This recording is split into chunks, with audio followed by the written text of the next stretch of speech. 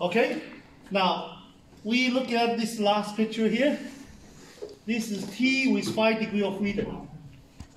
And this upper tail, probability T5 greater equal to 0.655.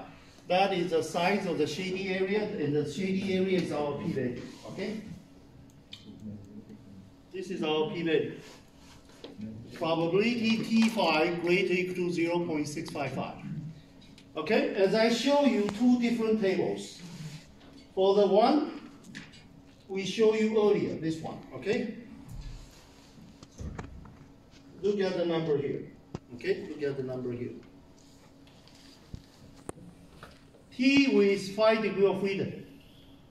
You move horizontally. You find the first number, 0.727. And this number is already bigger than the one we calculate, 0.655. Okay? So if I move down, what can I see? Hmm? Remember? One-sided alternative, two-sided alternative. One-sided alternative is what? 0.25. Am I correct?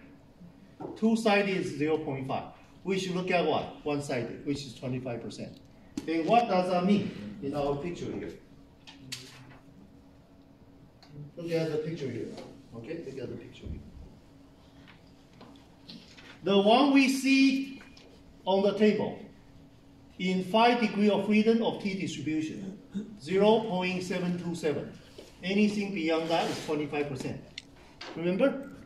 And what we calculate is 0.655. And the red shady area is what? The p-value, as you can see from the picture. P-value is probability T5 greater equal to 0.655, which is bigger than what? The blue shady area. And blue shady area, we got it from what? P-table.